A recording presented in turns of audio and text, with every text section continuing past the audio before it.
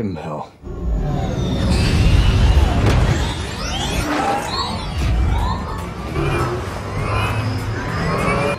You're always picking up after you boys?